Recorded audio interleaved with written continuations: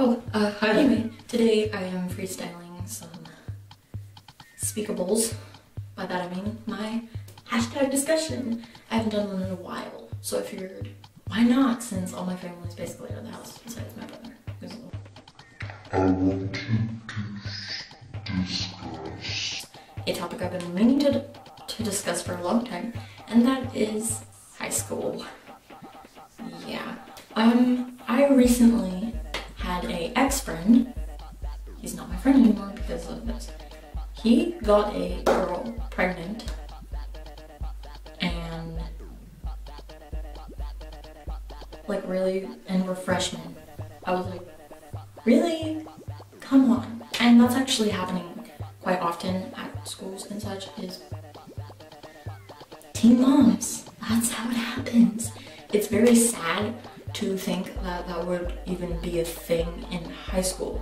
we, we should be focusing on school and then doing that later when we have our lives situated and stable. I would like to talk about the profanity in high school. Um, I myself do am a user of profanity, sadly, but Sometimes it's overused and it does make you sound.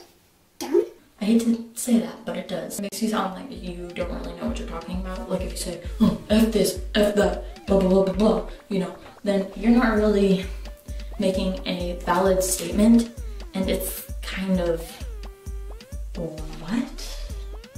So that is also a really big thing in high school, is cussing, like, out the wazoo. It's psychotic. And lastly, some of you guys were probably looking for this. Is two different things, but they're also kind of the same.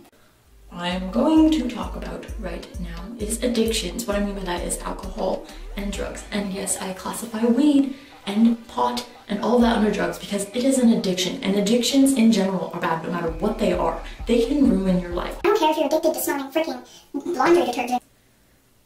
Okay, well, addictions in general are very bad and they tend to take over your lives and it's not really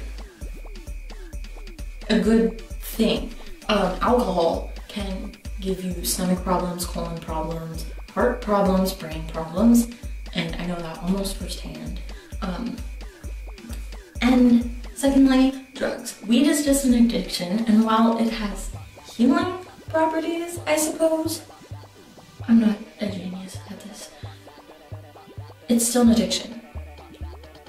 And it could ruin your life, but most people don't think about it that way, but it's very, it's, if you get addicted onto anything, like I've said probably like five times, it just takes over, and it's not really, you know, You know, so that is also bad. I would also like to bring up things like cocaine and LSD and heroin and anything else like that, even like stuff like anabolic steroids and EPC. Those are also very bad and you can it, they ruin your life. I don't know how many times I can say this. Anything that I've stated so far ruins your life.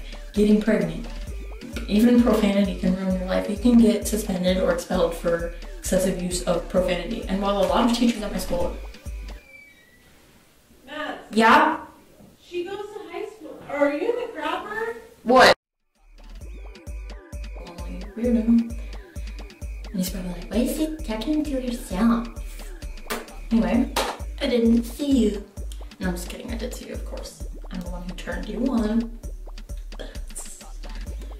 Um, second of all, um, I would talk about it makes you sound like you have a lack of words. I sound dumb right there, but I don't know if you can. You could snort powdered laundry detergent, maybe.